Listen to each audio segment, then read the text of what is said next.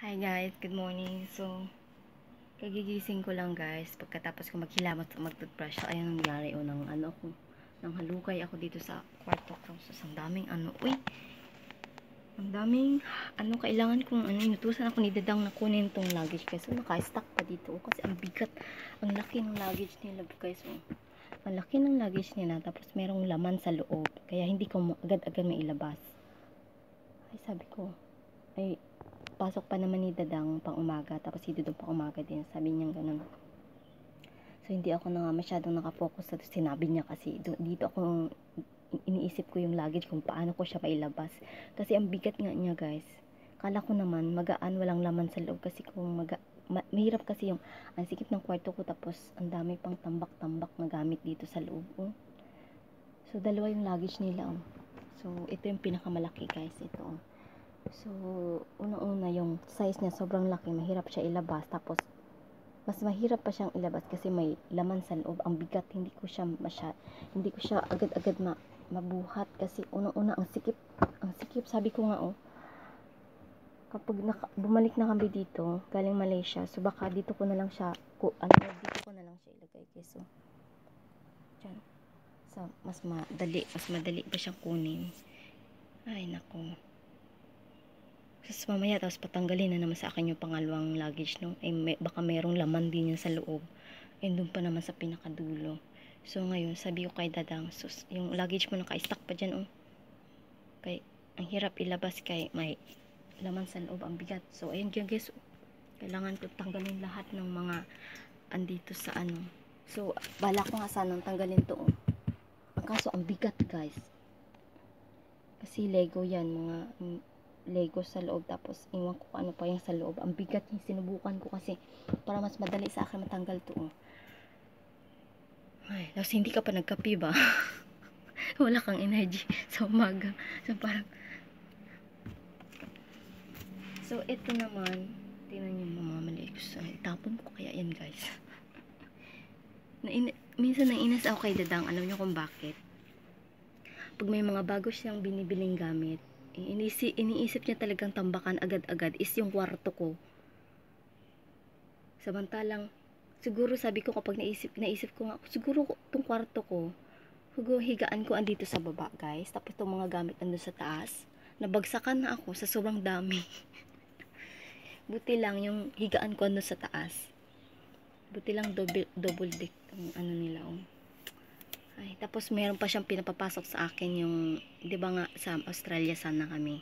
Ngayon di natuloy. So naglabas sila nung parang upuan ni Duday pang ano yung pang mountain na parang katulad sa cargo. Alam niyo yung cargo na pang baby guys. Dito sa likod. Tapos parang meron siyang pinaka shield sa baby. Ay sobrang laki din. So andun nakatambay sa kwarto na sa guest room. So, sabi ni Dadang, ilagay ko daw dito. Sabi ko, ay, tambak na naman. So, labas ko muna to guys. Ito. So, buti lang nga matulog si Duday. Natulog daw ulit si Duday. So, para may time ako para mailabas ko to. To maleta. So, yung akin naman. So, ano pala guys, so, um, ngayong, di ba Saturday ngayon? Sa next Saturday. Next Saturday flight lang na, flight na namin. So, yun yung schedule ng flight namin is 12. Ngayon, ang balak ni Dadang is isang lagi sa kanila, lahat. Tapos, yung sa akin, yung maliit na luggage na galing sa Pilipinas, yun gagamitin ko. So, sabi ko, ay balak pa naman nila mag ano, nakaka-stress sila guys. Sa totoo lang, nakaka-stress sila kakasama pagdating sa mga, ano, kasi yung dati kong amo, sus, mga damit lang, okay na, isang ano, Oo, mga damit lang, okay na yun. Sila, hindi sila yung maarte. Eh, si Dandang naman, ang dami-daming, hay, nainis ako. Mga toys daw, mga, ay sus, kinoo, sabi kong ganun. I, plano niya pa ipasok sa lagi. Sabi ko, sus, kinoo, tatlo, tatlo na sila mag-share dito, oh. Si Duday, si Dudong at si Dadang. Tapos ngayon, may mga toys. Dadalhin pa din mga toys. Sus, kinoo. Sabi ko, yung toys, So, ang plano niya dito ilagay. Sabi ko, pag pinasok mo yung toys dyan, wala ka ng space para sa mga damit. Sabi ko ganun. Ba't hindi mo na lang, sabi ko, ipasok mo sa kahon. Isang kahon lahat yung toys. Sabi niya, ay oo no. Sabi ko pa, utak ano man to si ano, ay si Dada. sabi, sabi niya pa guys, eh paano daw kung, uh, paano daw ako, dati di ba nagpa-flight, flight na ako dati pa doon sa una kong amo. Sabi ba niya ganun, paano daw ako nag, nagtitimpla ng gatas para sa baby, sa, alim, sa baby dati, pag na nag-trip kami outside Singapore, tapos, paano daw yung mainit? Sabi ko, magdala ka ng empty na ano, magdala, magdala ka ng empty na nalalagyan kasi bawal nga sa airport na ano, papasok ka sa airport, I mean, yung sa check-in na guys, papasok, tapos may dala kang water, bawal yun. So, sabi ko, doon mismo sa, pag nag-check-in ka na, doon sa loob mismo, makaka-refill ka ng tubig doon. Ah! Sabi niya ganun, ah, ganun pala. Sabi naman ni Dudong, syempre si, si Dudong nag-work sa airport. Sabi niya, oo nga, may ano doon, may, may tubig doon. Pwede kang ano, pwede mag-refill doon kasi nga bawal mag, ano, wala silang alam guys, sa totoo lang. So, buti lang kamo dahil sa experience ko na dala-dala yung mga yung dalawang bata dati. So, hindi na bago sa akin to mga mag mag-trip-trip na to kung ano mga dadalhin. Sabi, sabi ko gana na, lista-lista siya. So, ako na, ako bahala sa damit ni Duday. Tapos, ako ang, uh, sa mga damit, sa mga gagamitin ni Duday, kung maglagnat, kung magkalagnat doon, mga gamit sa katawan, shampoo. So, ako na bahala doon guys. Uy, hindi na natin asahan si Didang kasi si Didang, ano, tuliro man si Didang. tuliro si Didang. Tapos ganyan sa, sa araw ng flight namin. So, pang ano pala siya. So, sabi niya ganun, doon na lang daw kami makita sa airport. Sabi ko, ha? sabi sabihin pala doon sa araw na, na pag, ano, sa araw na schedule ng flight namin, wala siya dito sa bahay. Andun siya sa, sa work niya. Doon na lang daw kami magkita sa airport. Ay, sabi ko, eh, paano na lang kung, syempre, kailangan ko din yung approval niya, di ba? Kung may mga gamit si Duday na kailangan dalhin na gusto ko, tapos kailangan ng approval niya, di ba? Mamaya, no. Tapos sa akin, yes pala. Yeah. Kaya sabi ko, bahala siya, uy. So, ang gagawin ko, ah, uh, ang gagawin ko, guys, lahat ng gamit ni Duday, ihanda ko muna doon sa guest room. So, tapos, ipa-approve ko na lang kay, data, kay dadang kung okay ba lahat no prepare ko na gamit para kay Duday bago ipasok sa luggage. So, yun ginagawa ko dati sa sa dati kong amo guys. So, lahat ng mga gamit ng bata, so, prepare namin sa isang uh, sa, sa kama, like, sa guest room guys. So, mga damit, mga shampoo, mga kung ano-ano man na ano kailangan ng bata. So, doon muna namin yung sa employer ko sa una kong employer ko yung natutunan guys so ginagawa niya nilalagay niya muna sa isang kwarto lahat ng gamit ng bata bago para maisip niya para matingnan niya kasi pag pinasok mo na sa luggage di ba mahirap na halongkatin kung ano kung ano yung kulang yung ano ano kailangan ng bata so doon muna sa kama so piniprepare na muna nung dati kong amo tapos iniisip niya kung ano pa yung kailangan ng bata kasi mas madali para sa kanya kasi syempre nasa, nasa kama pa eh. Pero pag pinasok mo na kasi mahirap na guys.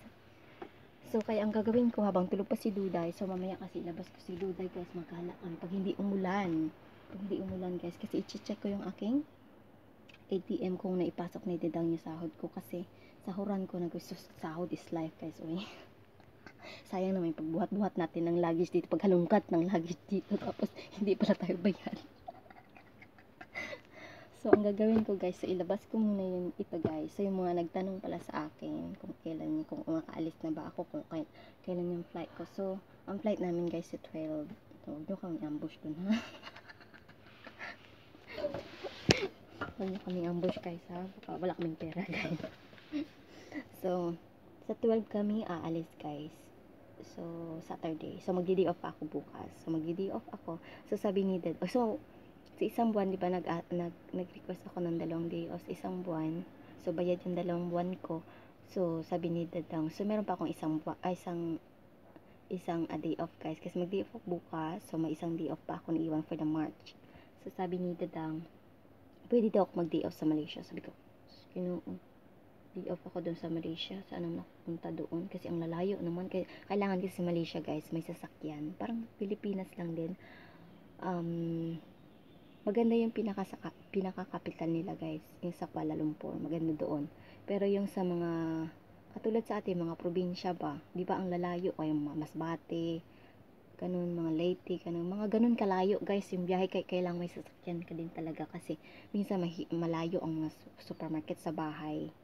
So kailangan may sasakyan kasi ano si si Badang yung lola ni ano ni Duday may sasakyan talaga yun magsundo sa amin guys kaya ang saya-saya niya nung kinausap ko nung isang, ay, isang gabi. ah, oh, mabait kasi yun. Mabait yun sa akin, guys. Oo, mabait yun siya. Binigyan niya ako ng 60, 60, um, ringgi eh. Pera sa Malaysia. So, sabi ni Dad, ang kailangan ko ba daw ng, kailangan ko ba lang papalit? Ay, hindi na, may pera ako. ah, binigay ni ano, ni, ni, ni Lola daw. Sabi ko, binigyan niya ako. so, tama na yun. For one week, guys, ang budget ko is Ah, pero binigyan ako ni auntie din guys ng pera. Yung dating nani ni Duday. So, binigyan din ako ng pera. Kaya pag nag combine-combine mo, siguro mga nasa 70 din lahat ng binigay sa akin na ringgi pera na Malaysia. So, meron tayong kahit pa paan pambili ng tubig pag inuhaw tayo guys. O meron akong pambili siguro ng, sabi ko nga, gusto ko sana magtanong kay, kay Dudong, makakabili kaya ng damit yung ano, yung 50 ringgit. Pero feeling ko guys, makabili kasi mura lang doon ang mga damit kumpara kumpara dito sa Singapore kasi ang price dito I mean ang 1 dollar dito is kumpara ka sa piso 3 piso piso na guys 3 ringgit na so mas mataas yung value ng uh, Singapore dollar sa pera ng Malaysia so daldal ako ng dalgal guys uy. so ang kailangan kong tanggalin to guys guys tulungan nyo nga ako guys uy So, ito, laki pa naman, oh, halos, eh, kasya na ako dito, guys, po. Ayan. Ayun, pagka maarte din to si Dadang, oy. Kasi sa totoo lang, one week lang naman, sabi ko, bakit mag, mag, mag, mag, mag, hakot-hakot pa ng mga laruan doon, oy. Sus, kinuang pisa, sabihin ko sana, sabihin ko sana, pupunta natin doon bakasyon, magbakasyon tayo doon syempre kakain, mamamasya sa mo. So ano pang time para maglaro ni Duday, 'di ba? Pagdating sa bahay, pagod na si Duday, tulog na. So, bak kailangan pa magdala-dala ng mga sabi ko magdala ka na lang ng mga libro-libro, eh okay na 'yun. Kaya pwede namang bumili doon. Mura lang naman yung mga toys doon. Yung toys na mumurahin lang. One week lang guys. So, sino um, effort, ka pa na magdala ng isang kahon na toys. So, um, krong-krong yun si Dadang. Uy. Nainis ako minsan. So, sabi niya pang ganun isang araw guys. Kwento ko sa inyo guys ha. Chismis lang natin to. sabi niya ganun. Ay, sabi niya, sabi niya ganun. Kasi 24-7 nga ako nagbabantay doon sa dati kong alaga. So, syempre, parang gusto niyang palapasin na ako mag-alaga din sa gabi kay Duday. So, sabi ko, wala na tayong pahinga nun, guys. Alam niyo naman, hindi madali ang mag-alaga ng baby. So, kailangan natin ng pahinga. So, dahil sa experience ko na yun, so, ayaw ko na. So, sa interview pa lang, sinabi ko sa kanya kung sino ang mag-aalaga sa gabi. So, pag sinabi niya kasing ako pa rin, so, hindi na ako nag-oo, hindi ako nag, nag, nagpirma sa kontrata. Uy, so, tinanong ko siya kung, kasi, dati kasi sa, ano ko, dahil, dati kasi, hindi ako nagluluto, yung lola ang nagluluto. So, alaga lang ako ng baby at saka linis. So, kaya maaluan ako. Kumbaga, hindi mabigat yung trabaho kasi kahit sabihin mong puyat ka, pagod ka dahil sa pag-alaga ng baby, alam nyo naman la, especially kung experience nyo or um, yun ang trabaho nyo. So, nakaka-relate kayo sa akin na hindi madali ang mag-alaga ng baby, newborn. Kaya kailangan talagang focus ka doon. So, wala nang cooking. Para sa akin guys, experience ko, wala nang cooking-cooking. Oy, sabi ko, kumain na lang kayo sa labas, magtapaw na lang kayo, oy, kasi mahirap pag-alaga, kung, especially kung walang tutulong sa'yo, ikaw lang talaga. E dito kasi sa bahay, pansin ko dito sa mag-asawa na pagdating sa umaga, sa araw, ako na talaga ang nag-aalaga. Wala nang tumutulong. Minsan, si Dudong pumapasok na sa kwarto, nagkukulong na, sabi ko, tapos kailangan kong magluto. Sabi ko, oh, sabi ko, krong-krong din tong dalawa na to. Smart din tong dalawa na to, eh. Parang, iba na, nagbago na ngayon ng sitwasyon, guys. So, nagbago na talaga ang sitwasyon ngayon. Nagtatago na yung dalawang mag-asawa. Ayan ang magbantay sa umaga kasi alam nilang ako na ang nagbabantay sa umaga. So, nagtatago na silang dala sa kwarto. Sabi ko, kung ganyan yung sitwasyon, sabi ko, magtapaw na lang kayo. Kung ayaw mag-alaga sa mga, kung ayaw nila mag-alaga sa kay Duday, sa, sa araw, dahil busy ako magluto. So, wag na silang ano, hindi ko sila lutuan guys, sa totoo lang. Gusto nilang ako mag-alaga at the same time ako magluluto. Ah, ha, ha, ha, ha. Sabi ko, hindi, eh, bahala kayo magutom dyan. Kayo na lang mag-alaga kay Duda. Ah, ako na lang, ako mag-alaga kay Duda pero hindi ko kayo lutuan. Si, sabihin ko na, wala akong time para mag-ala, mag, magluto kasi nag-aalaga ako. Alam, si Duday naglalakad na. Hmm, naglalakad, nag-umpisa na siya maglakad, mag, naglakad sarili niya guys. Inaalayan ko pero nung kahapon nag-start na yung parang naglakad lang siya mag-isa. Pero malapit lang siya, malapit tumakbo siya papunta sa akin, no, 'di ba? Mahirap yung ganun guys na stage na alam mo yun na konti, ilang segundo lang na wala yung mata mo, mauntog na or ano, 'di ba? Mahirap yun. Tapos magluluto ka pa tapos tapos magtataguan pa sila sus. Sabi ko. So, tingnan natin guys. Tingnan natin sa contract natin guys. Wag, wag si Dadang masyadong mapanigurado kasi sabi ko titingnan, obserbahan ko pa kasi nagbabago sila guys kasi ang employer ma okay lang sa umpisa. Tapos pag katulad ng mga ay mata tumatakbo na so nakakapagod na. So nag-iis nagaano na yun, dyan, dyan na yung nagtataguan guys. Sabi ko sus kinoo yung mga mag-anak-anak tapos mag-anak-anak ba? Tapos pagdating sa mga uh, maghabol-habol sa bata ang nagtataguan. So Ah, ito pala, sus nakalimutan sinabi niya, sinabi pala ni Dadang sa akin guys. So, bago natin end itong video. So, sabi pala ni Dadang na 24-7 daw ako nag-alaga doon sa baby. Ah, so, sabi niya gano'n, mas mapait pa pala kami, mas mapait pa pala kami. So, nanahimik na lang ako, sabi, ay oo, nanahimik na lang ako guys. Sabihin ko sana sa kanya, yung, kumpa, i-compare ko yung una kong employer sa inyo. Okay? Mas, ano yun siya, unang-una yung sahod ko doon is mas malaki mas malaki yung sahod ko, hindi ako nagluto. Sinabi ko kay Dadang guys, sabi ko, dun sa dati ko employer, hindi ako nagluluto. Sabi kong ganun, alaga lang talaga ako ng baby, alaga lang talaga ako ng mga bata, hindi ako nagluluto. Kasi unang-una sabi niya ganun, ay oo, no, kasi pag nagluto, maghugas ka pa, ganun, ganun. Kaya sabi ko, sabi ko, oo nga, yung oras mo na naubos lang sa lutuan, eh, kailangan mo mag-alaga ng baby. So, mahirap yung mag-alaga ng baby at the same time magluluto ka. So, sabi niya gano'n, mas, mas, mas pabait pa daw sila pala. Kumbaga, mas ano pa sila, kumbaga, hindi ba sila stricto pagdating sa ganun. Kasi, alas 9, lumalabas na ako sa kwarto. Or, pag andyan sila, andito na ako sa kwarto. Nagpahinga ko na yun eh. So, at saka, yun yung pinag-usapan namin dati. So, ang usapan nga namin, out ko is 7. Pero, syempre, alam nyo naman, ba diba? Hindi naman pwede. So, ngayon. Pero yun ang sinabi nila sa akin guys. Alas 7 out ka na. Sabi niya 7 ang, pa, ang work ko. 7 out na ako. Sabi niya ganun. Pero ngayon nagbago sila guys. Alas 9 na ako nakakapag out. Minsan pag wala sila dito or si Dudong lang andito mga 10. Mga 10 ako nakakatapos ng work kasi kailangan ko pa patulugon. Eh, ba diba? Yung yun ang ano nila. Yun ang yun ang naging usapan namin dati pero hindi na natupad yun guys kaya minsan yung mga amo so sa una lang okay okay sabi ko sa inyo. So sabi niya ganun mas mabait pa pala so mas magaan pa pala yung trabaho ko. Sabi ko hindi kasi dati hindi ako nagluluto. Hindi ako nagluluto. Hindi ako stress pagdating sa pagluluto dahil wala naman akong iniisip na luluto na ano yung pagdating sa pagluluto. Kasi nga ang nanay ang nanay ng dati kong amo nagluluto. Ako lang talaga nag-aalaga sa baby. Kaya walang problema kung 24/7 ako mag-alaga sa baby at, at saka pangal, pangalawa malaki ang sahod ko doon sabihin ko sana sabihin ko sana kay dadang kung gusto kung, kung gusto niyo ako mag-alaga 24/7 walang luto tapos taasan niyo yung sahod ko. Oh, yun, yun, yun, yun sana sabihin ko sa kanya eh. Taasan mo yung sahod ko 24/7 papayag ako 24/7 ako mag-aalaga sa gabi 24/7 ang kalalabasan. Bigyan niyo ako ng mas mataas na sahod walang luto at saka at saka um, tawag dito day off dalawang day off. So payag ako. Oh yun ta sasabihin ko sa eh, yun nga lang guys iba yung ugali ni dadang. Napansin ko napansin ko kasi nung syempre matagal na ako mag isang taon na kumikit. So alam nyo dun, dun nyo lang malalaman yung ugali ng amo pag tumagal na kayo guys.